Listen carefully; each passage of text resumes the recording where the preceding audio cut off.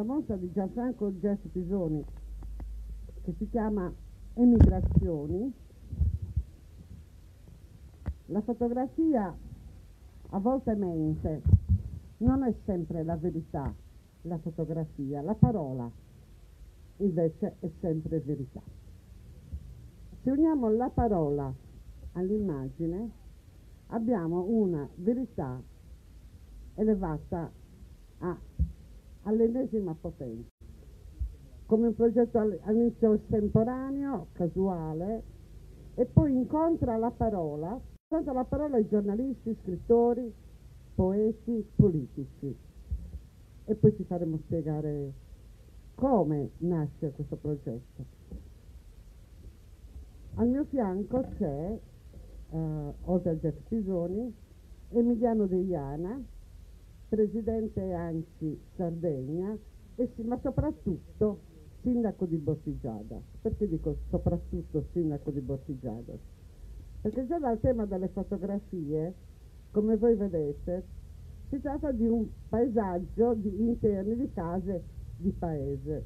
E se c'è una persona in Sardegna che ha cominciato a parlare seriamente e a fare battaglie per lo spopolamento, questi è Emiliano Degliano.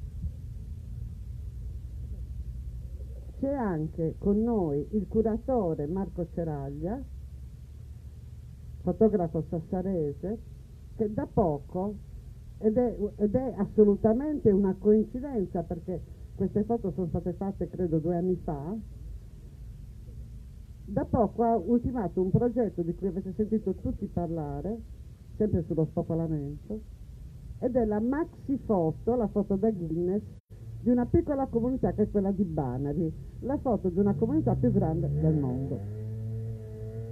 E quindi evidentemente questo tema non è una moda, ma è un'esigenza che cominciamo a sentire tutti, sia chi vive in città, sia chi vive, vive nelle piccole comunità, perché la Sardegna soffre di spopolamento. Comunque questo era l'incipit. Allora, Gianfranco, come è nato questo progetto, dove è stato fatto e perché? Eh, grazie. Allora, spiego brevemente come è nato questo progetto. Io circa appunto due anni e mezzo fa eh, mi trovavo a Neoneli, un paese che è provincia di Oristano eh, mentre giravo per il paese ho notato che c'erano delle case così abbandonate con l'uscio aperto. E la curiosità appunto di guardare oltre quell'uscio eh, è stata molto forte. E sono entrato. Sono entrato e una volta che mi sono trovato dentro queste case ho trovato quello che vedete in queste fotografie cioè degli oggetti di uso quotidiano insomma come dei piatti, un tavolo uh, delle, delle bottiglie delle scarpe, vabbè, ci sono anche eh, dei capetti, insomma, queste cose così abbandonate, come se la gente fosse scappata all'improvviso.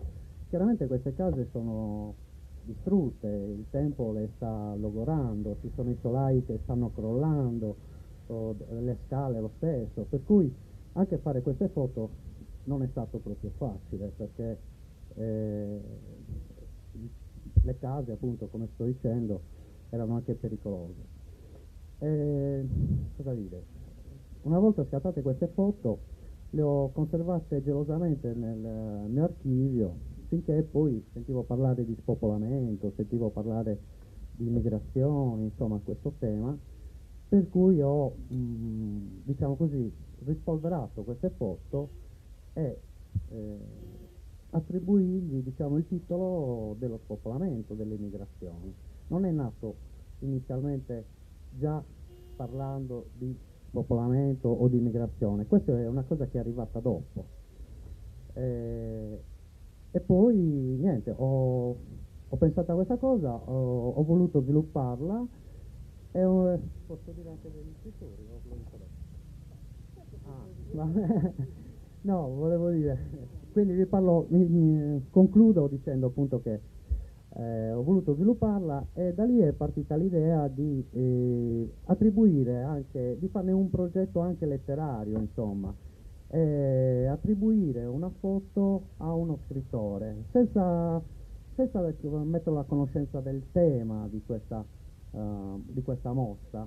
Uh, per cui ho voluto che loro fossero liberi di scrivere quello che eh, la foto li suscitava ed è venuta fuori una cosa, devo dire, sono rimasto veramente sbalordito eh, perché tutti quanti hanno accettato questo mio invito con molto entusiasmo e, e questo già mi ha fatto uh, emozionare, voglio dire, cioè, eh, sono rimasto veramente soddisfatto di questo perché ricevere un no era anche lecito, ci mancherebbe, però insomma ci sarei anche rimasto un po' male.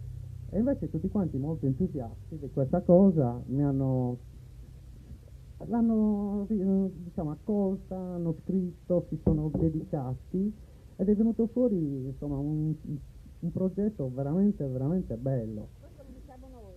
No, eh, i testi, dai, parliamo dei testi, veramente belli. I testi sono veramente uno più bello dell'altro. E poi ho attribuito anche, ho fatto un, un'associazione non, non, a caso, attribuendo appunto la foto a, uh, a, uno scrittore ben preciso, perché in ogni foto lo scrittore che ci ha scritto, uh, secondo me chiaramente, si rispecchia. Cioè nella foto c'è lo scrittore.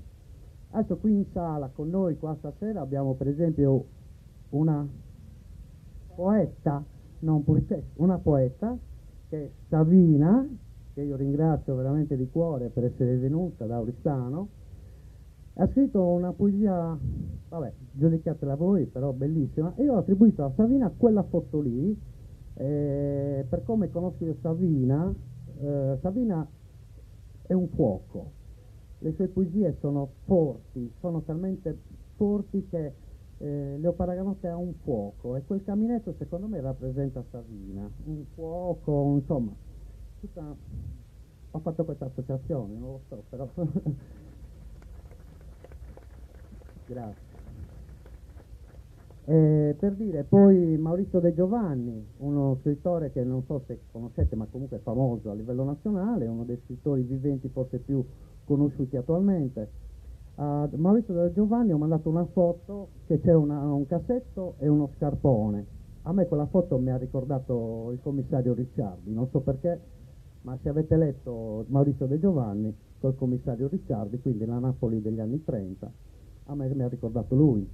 E poi per citarne un'altra la voglio dire, eh, oltre a Francesco Abate per esempio, Francesco Abate ho assegnato una foto che è una pagina di un giornale, eh, dove, che è laggiù, una pagina del giornale, lui essendo un cronista, un giornalista di cronaca, ha attribuito quella foto.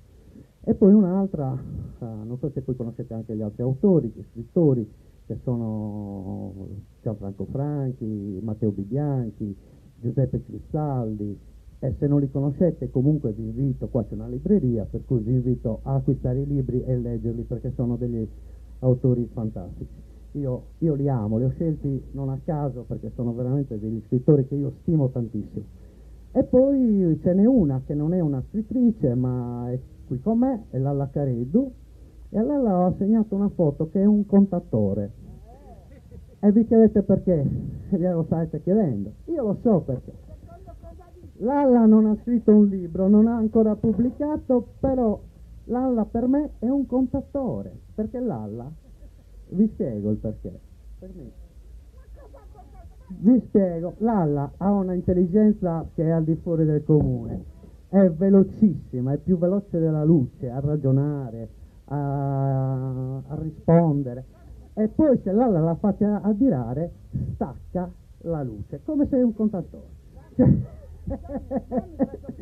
è la luce, Lalla è luce, Lalla è luce, ecco per me Lalla è luce, quindi gli ho attribuito il contattore. Va bene, grazie. Sì, ma tu sei un cretino comunque. Sempre e comunque. Un cretino. Cioè, veramente matto. Eh. Ricordiamo anche Fernando Masullo che ha accettato di... che ha mandato un, un testo. Fernando Masullo è quello, per intenderci, che ha inventato Ballarò. Un ingegnere, Carlo Crespellani, è, è, uno de, è, uno di quelli che teorizzano la partecipazione democratica, è il sindaco di Nioneli. Perché, questo, perché questo, queste foto sono state fatte a Nioneli. Quando siamo andati a Nioneli, Emilia, ci siamo andati da cittadini arroganti. Io sono andata lì perché invitata per fare, per fare un festival con l'amica Luisa, eh? E Nionelli ci ha conquistato per essere proprio fuori da tutti i pregiudizi che avevamo, soprattutto il, il dramma di Nionelli, io non so se a Bottigiada sia così, a Nionelli non c'è il bar, ce n'è uno in periferia, una tragedia. No, non, c'era, il bancomat, eccetera, quindi però Nionelli ci è entrato nel cuore, ci siamo tornati sempre. E questo è quello che abbiamo scoperto mentre Jess Pisoni rischiava la vita. Emiliano, allora, Emiliano, io sono molto contenta che tu sia sceso dalle montagne, dalla tua bottigiada. Queste case così abbandonate possono essere il simbolo dello spopolamento oppure sono solo un pretesto per parlarne? Come dicono quelli bravi, buonasera a tutti ehm, non ho capito la domanda.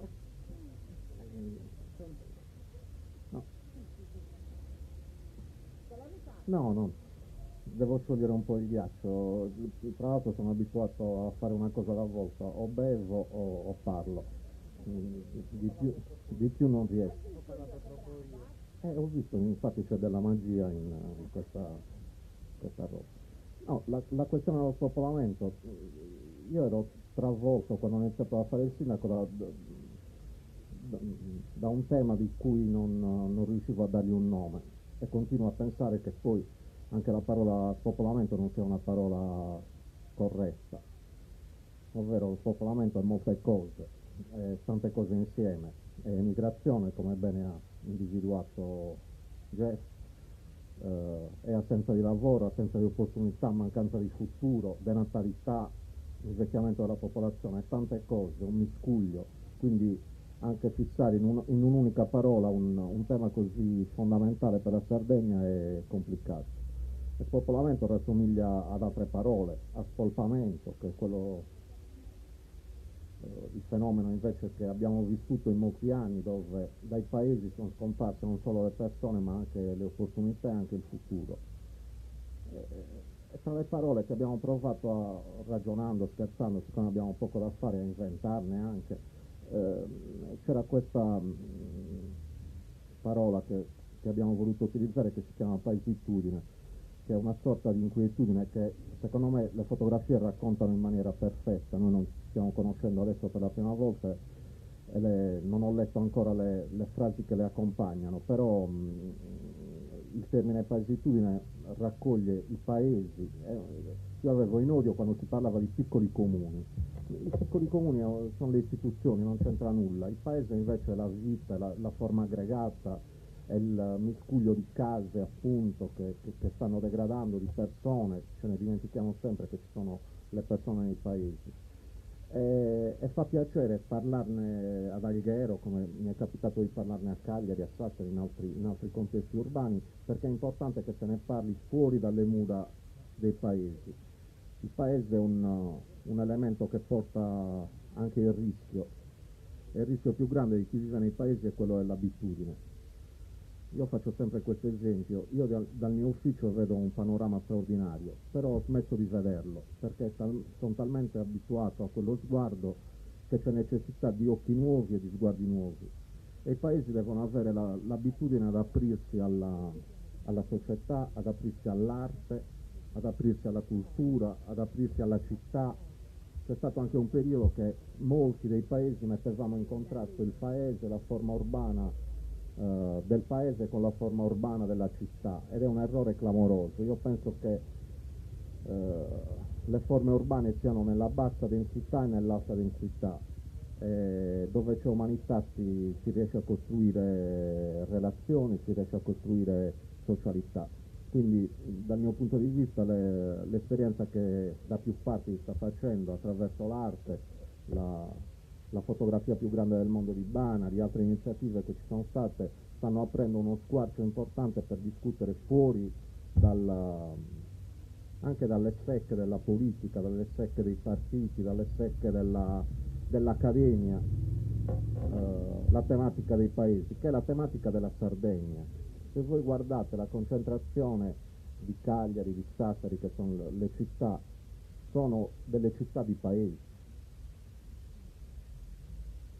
Tantissimi che vivono nelle città hanno il padre che, che arriva da, da Noragugume o arriva da, da qualunque altro punto della Sardegna e che per, un, per scelte di vita o anche per, per dinamiche politiche sono dovuti trasferire nelle, nelle città. Quindi da questo punto di vista è importante il lavoro che si fa attraverso la letteratura, attraverso la cultura, attraverso la fotografia, sono tanti esempi che sono stati portati avanti. E c'è un, un, altro, un altro tema, prendo ad esempio il fatto che un, un, mio collega sindaco abbia voluto dedicare le sue parole, Salvatore il sindaco di, di Neoneli, a, una fotografia, perché il, il, lavoro del sindaco, la funzione del sindaco è una, una funzione che sta diventando fondamentale, lo è sempre stato per carità. Eh, e anche avere amministratori che guardano alla cultura, che guardano alla, alla Sardegna partendo dal paese ma guardando a tutta la regione è un fatto nuovo, è un fatto di cui bisogna tenere conto. Io avrei finito anche perché sono in bilico e come diceva Andreotti ho un armadio nello scheletro.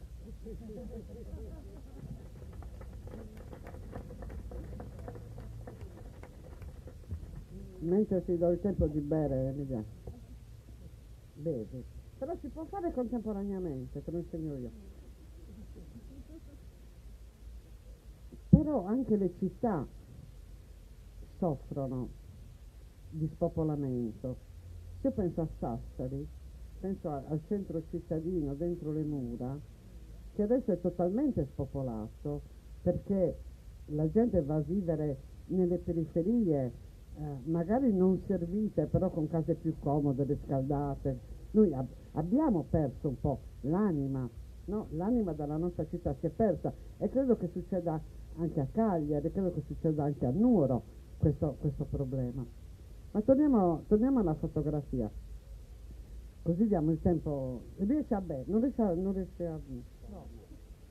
Siete veramente due pippe, cioè veramente non...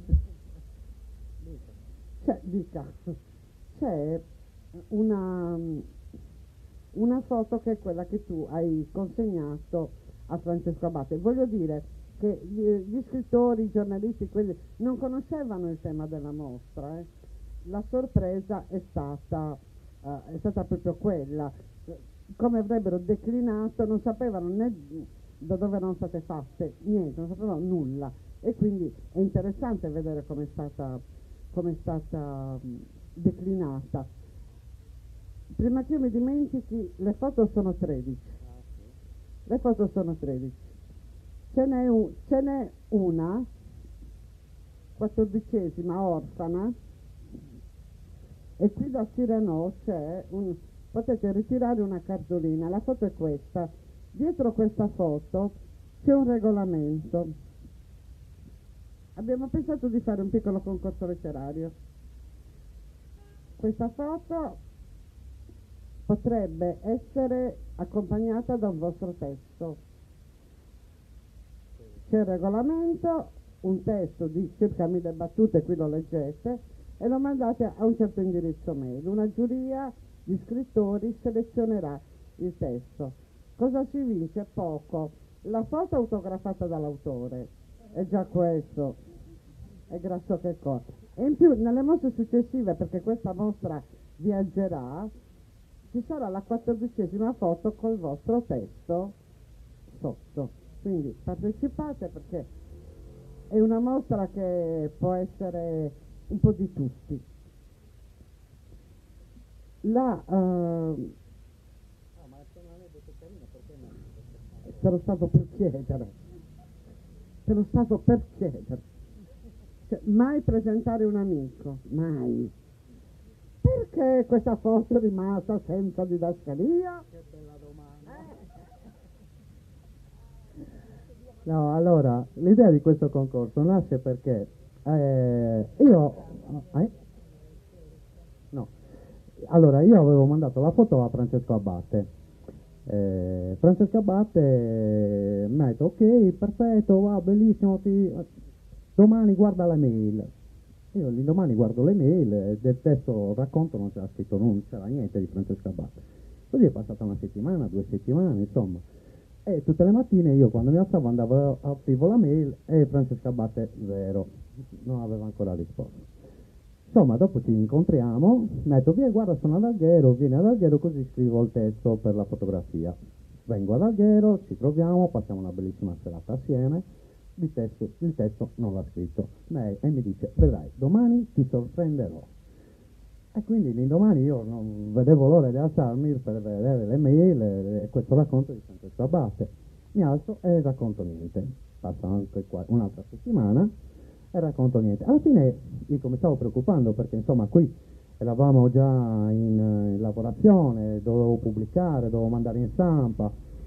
E allora ho detto, ma sai che c'è Lalla? Ho lei, sai che c'è Lalla? Mi sa che questa foto di Francesco Abbatte, boh, organizziamo qualcosa, ci inventiamo qualcosa. E lei mi dice, perché non facciamo un concorso? Ah, perfetto, facciamo un concorso. No, vabbè, insieme, voglio dire, abbiamo, abbiamo ragionato assieme.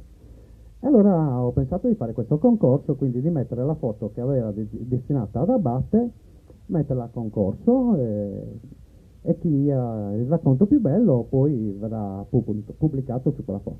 Lì domani mattina non ci stavo proprio minimamente pensando e Francesco mi diceva sempre ti sorprenderò, vedrai che ti sorprenderò. Vabbè, dovevo andare in stampa, l'indomani mattina mi alzo, invece cosa mi sono trovato? Apro la mail e c'era il racconto di Francesco Abbatte. A quel punto ho detto, vabbè, allora, siccome foto non sono solo queste, ne ho anche delle altre, quindi ho scelto un'altra foto eh, e il concorso ormai l'avevamo più o meno io già fatto nostro, e per cui... Oppala. Vabbè, come in tutte le scenografie ci deve cascare addosso. Vabbè.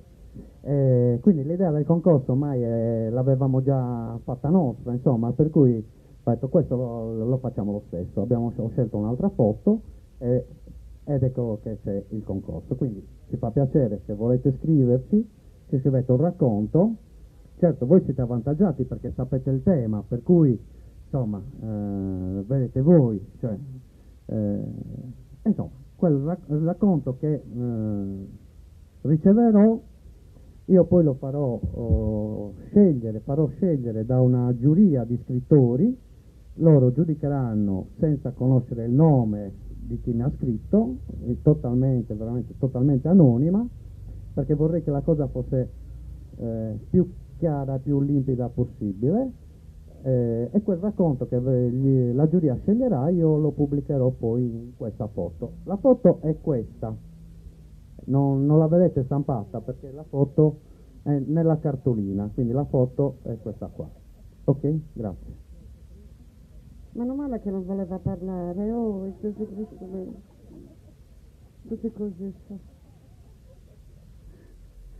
Senti Emilia, e poi vorrei che intervenisse anche il curatore di questa mostra Marco Ceraglia, perché alziamo il livello di figaggine, no? Già con Emiliano Deiano abbiamo sollevato, con te facciamo il botto. Emilia, ma tu hai detto è importante l'arte, è importante la cultura, perché questa inquietudine possa essere un po' placata, però ci vogliono strade, ci vogliono bancomat, ci vuole la fibra, questo è il discorso. Può solo l'arte, oppure come può l'arte fare da detonatore? Perché questa cosa io me la chiedo, non è che poi invece noi ci culliamo nell'idea che basti l'arte per poter risolvere i problemi.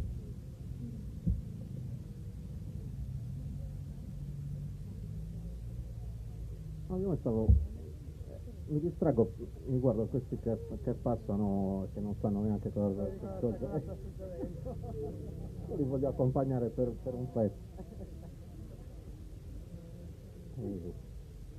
Ehm, no, la questione dell'arte è, è semplice secondo me, dell'arte, della cultura, della letteratura, di, di- di tutta la, di tutto l'ambaradan che possiamo mettere sotto il cappello della cultura, che è una parola che era stata espulsa anche dai vocabolari della, della politica, che è bene invece che ricominciamo a, a reintrodurre. Su questo tema particolare serve a far detonare, a aprire gli squarci per vedere quello che cade. Questo è molto chiaro. E avrete sicuramente, ma no, non ho nessun dubbio che, che l'abbiate sperimentato, come sia difficile entrare in una comunità perché se uno c'entra con uh, l'idea di insegnare qualcosa viene espulso dopo tre secondi, perché la dinamica del paese è una dinamica difficilissima, è una dinamica chiusa. Come ho detto prima, noi abbiamo però necessità vitale di, di avere, di, di riattivare le eh, chimiche che ci sono nei paesi, mettendoli in relazione a persone che guardano con uh, misericordia la vita dei paesi. Misericordia non è che il, la parola della, della domenica in chiesa. La misericordia è far battere il cuore con il ritmo dell'altro sostanzialmente. Ed è una cosa che gli artisti hanno per capacità, ha, chi fa arti figurative, chi fa musica, chi fa poesia, chi fa letteratura, riesce a entrare in sintonia a vedere quello che gli abitanti non vedono più. Questo è un, è un dono di cui i paesi hanno necessità. Se invece uno viene con l'idea di dover insegnare la vita, c'è una figura che è terribile, soprattutto nel periodo del scivolo, quando torna l'emigrato ti vuole insegnare da Milano come cavolo devi vivere a Bortigiano dopo che manchi da vent'anni.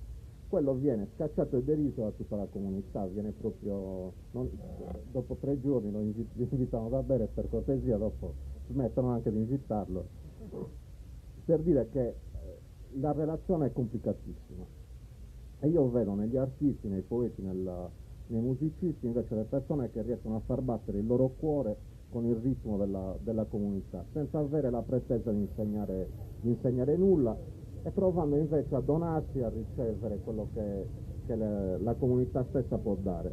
Però c'è una, un'altra cosa che volevo, che volevo, dire rispetto alla, al tuo intervento di prima.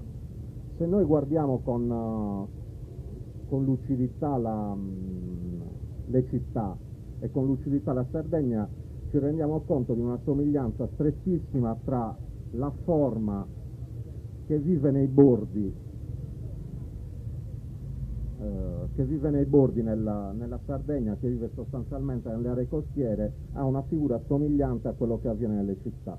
La periferia, è paradossale questa cosa, a Sassari è diventato il centro storico, così come a Cagliari è diventato il quartiere di Castello si vive ai bordi, anche questa descrizione del vivere nei margini, nel vivere bo- eh, nei bordi, è una questione fondamentale.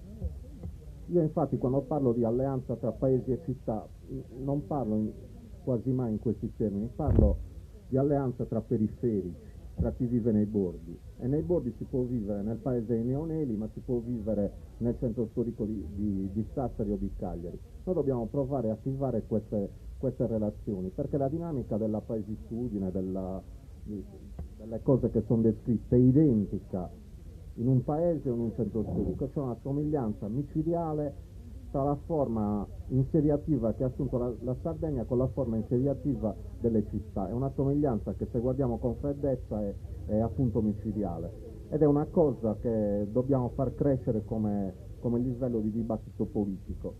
Uh, fermandoci agli ultimi cinque anni, quando si parlava di paesi, io ho vissuto i contatti su, su livelli politici, si guardavano e si dicevano questo è matto, cosa vuole questo?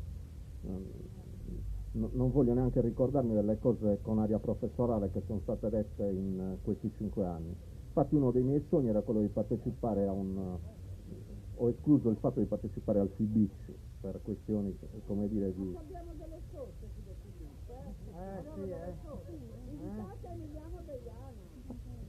Però era parlare di questa cosa al mare, che è, un, che è una, una, cosa molto bella, il fatto che se ne possa parlare al mare, questo è un happy hour. Non lo so neanche cosa vuol dire, però, però se lo dici fa bene. Spero di aver risposto. Cioè io non so se avete capito perché abbiamo fortemente voluto Emiliano Deiana fortemente voluto perché e dai sindaci, dai sindaci come Emiliano Deiana, che può partire un dibattito politico che abbia la cultura al centro. Questo è importante. Ecco perché lo abbiamo voluto ed hai soddisfatto tutte le aspettative. Togo sì, Emiliano Deiana. Portatelo al TB. No, io sono così naturalmente. Portate a Sibizio Emiliano. Allora, Marco, puoi venire un attimo qui che ti devo fare una domanda? Ti do pure la sedia. No. Cioè, sì che l'ho detto. Stai zitto un attimo. Ma quando tu, cittadino, metropolitano, ti sei trovato a dover fare questo progetto così ambizioso, ma perché? Quale progetto aspetta? Quello di Banari. Non dobbiamo parlare di. Da- da- da- poi- ma è all'interno di questo progetto, l'avete fatto insieme anche Banari, è all'interno, e questo è il tema. Aspetta, eh, eh, imparo anch'io velocemente. Buonasera a tutti. Giuliano insegna. Buonasera a tutti. Ehm, era una- fondamentalmente una sfida. Fondamentalmente una sfida. Eh, quello che sto imparando in questi ultimi anni dove si cresce, si cresce molto velocemente, anagraficamente, eh, professionalmente, in tanti, in tanti ambiti, ehm, ho capito una cosa, che mettersi, eh, mettersi insieme provare a, provare a unire le forze, a unire le energie è importante. Il problema del spopolamento è un problema, avete sentito qui alcuni, alcuni tratti, alcune considerazioni fatte da, da- da tre- da queste tre persone. Eh, mi, era- mi è sembrato forte l'idea di prendere una comunità, poi c'è tutta una, tutta una storia sul perché Banari, come è andata, come non è andata, però l'idea era mettere insieme una comunità e provare a convincerli tutti, convincerli tutti a mettersi lì davanti in posa per una fotografia. Mi è sembrata davvero una sfida, una sfida grande. La cosa meravigliosa, credetemi, sono passate due settimane e ancora io sto dormendo con molta fatica e con sogni, e, e- e che l'hanno accettato, c'erano, c'erano, c'erano. Eh, Con questi- queste persone mi hanno seguito e mi hanno aiutato, ce ne sono diverse qui. È, è incredibile, poteva, poteva succedere tutto, potevano presentarsi in 100, in 200, che sono anche tanti, in 300 sono tanti, poteva scendere giù l'aria, eravamo circondati da tuoni, fulmini, eh, avete visto, no? c'era San Lorenzo che è il patrono del paese, ha messo questo ombrello gigantesco, quindi è stata una cosa incredibile. E non hai manco bevuto. Ma da curatore, questo fotografo, cosa ne facciamo?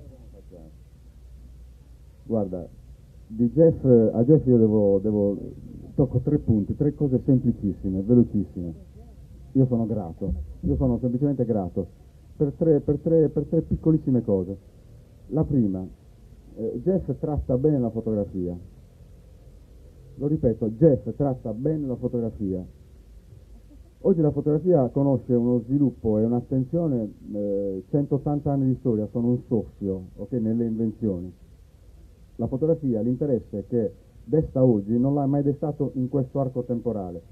A mio avviso, io vivo di fotografia e amo ancora la fotografia più di ogni altra cosa e gli sono estremamente grato, è, è trattata malissimo, è una mia lettura, eh, me ne assumo ogni responsabilità, è trattata malissimo in questi ultimi anni. Jeff con questo lavoro, ma anche con un altro lavoro eh, di due anni fa, è una persona, è, è un operatore culturale che tratta bene la fotografia. Resistere alla sirena eh, che, che urla, che chiama, di prendere queste immagini che sono straordinarie, sono di una poesia enorme e resistere a non cominciare a manipolarle, a aggiungere un pochettino, a togliere un pochettino, a mettere, era veramente un'impresa ardua. Lui ci è riuscito, lui ha detto no, io le ho trovate così, questa è più o meno l'atmosfera che c'era, questa è la luce che ho trovato, abbiamo ragionato se era il caso di andare magari una seconda volta, una seconda sessione, provare magari una luce un po' diversa, no, lui ha resistito, ma soprattutto ha resistito alla post-produzione, che, che è la cosa che mi fa stare più male. Questo è un primo motivo. Secondo motivo, Jeff eh, fa una cosa che io, l'ho detto anche prima quando parlavo di Vanali, in questi ultimi anni ho, ho colto e, e che veramente ritengo importantissima. Jeff mette insieme, non spendiamo troppe parole sulla commissione fra le arti, no? fra le arti fra le discipline. Non la inventiamo oggi, se ne parla, Ma Jeff, unendo la poesia e il racconto a queste immagini, fa un'altra cosa. Io le ho lette tutte e vi invito davvero, ma col con calore, col cuore, vi invito, se trovate un attimo di tempo, sono né oggi, domani, leggetele. Leggetele, vedrete davvero, vi arriva una cosa calda al cuore, a me è arrivata, mm, davvero non credo che vi possano lasciare indifferenti. Io ci trovo il dono, ci trovo il dono di qualcuno che, l'ha raccontato lui prima, lo ha ascoltato, lo ha accolto e ha fatto quello che, che- che potete cogliere. Questo a mio avviso è una cosa grande, lo ripeto, una cosa grande, così come grande è stato rivedermi due, due settimane fa a quelle persone, no? la stessa cosa, è un riconoscimento, è un mettersi insieme. L'ultima cosa, L'ultima cosa, Jeff tocca con questo lavoro una roba che a me non è che mi, mi- mi storce la pancia, di più, no? Quando sento, io detesto la politica, non ci capisco niente, sono lontano, quanto, quanto di più lontano posso essere la politica perché non ce la posso fare, perché non ce la posso fare, ma Jeff eh, eh, dice una cosa politica importantissima, a chi oggi vuole muoversi la pancia parlando degli immigrati, del dramma, no? di quant'altro ci stanno rubando, ci stanno invadendo, guardatevi intorno e, e poi vedete, abbiamo un'età, qua, mm, ci sono i nostri nonni, sono addirittura i nostri padri in queste fotografie, quindi non ho altro da aggiungere. Grazie Jeff. Grazie. Noi dobbiamo chiudere. Eh, dimmi. No. no, vabbè, no. Cioè, è già tanto che non abbia pianto. È un successo strepitoso. Salutiamo anche un altro scrittore che è venuto a trovarci, autore di una delle foto, finalista allo premio Strega, Gianni Tetti. Grazie Gianni, ti vogliamo bene sempre. Perché noi, noi siamo fortunati, perché viviamo veramente in una regione sì grande ma in comunità piccole e quindi possiamo godere dell'arte, è vero Igino? Dell'arte, della scrittura, della fotografia in ambienti tutto sommato piccoli. Io volevo ringraziare davvero Emiliano Degliana perché è stato veramente bello incontrarlo. Io avevo proprio voglia di sentirlo parlare eh, e di sentirlo vicino perché sono assolutamente aderente al suo modo di vedere il ruolo dell'amministratore pubblico, che non è solo quello di scrivere una delibera, ma di vivere profondamente la propria comunità. Ringrazio Gianfranco Pisoni, bravissimo, e vi ricordo che siamo dall'altra parte del mare, Questa- questo evento apre il festival dall'altra parte del mare, più tardi, qua sotto, un grande Hernan Loyola parlerà della poesia di Garcia Lorca con interventi danzanti e con la grande Franca Masu che fa delle letture. Hernan Loyola, mi amor, mi querido, eccolo qua. Ti ho appena presentato Hernan. Con Hernan siamo amici. Come stai Hernan? E, e poi il festival prosegue nelle varie giornate. Noi ci vediamo nella- nell'appuntamento più, più vanesio del festival, ci vedremo sabato, eh, dove presenteremo tutti gli ospiti del festival per una chiacchierata informale, quella che faccio io tutti gli anni. Vi prego di eh, guardare queste foto, di leggere questi testi. Vuoi dire ancora qualcosa? Eh, sì, no, volevo ringraziare la libreria Cirano eh, che ci ospita, mi, mi sta ospitando, ospita tutti gli scrittori insieme a me che hanno collaborato con me. Niente, ringrazio i presenti, Savina Dolores Massa, Gianni Tetti, eh, poi non so, non so se c'è qualcun altro, ma comunque anche se non ci sono, ringrazio veramente tutti gli autori, tutti quelli che mi hanno aiutato. Grazie. Grazie. Emiliano Deiana, ringrazio anch'io, veramente grazie per essere qua. E ringrazio Lalla, perché insomma, grazie. Eh, buona lettura.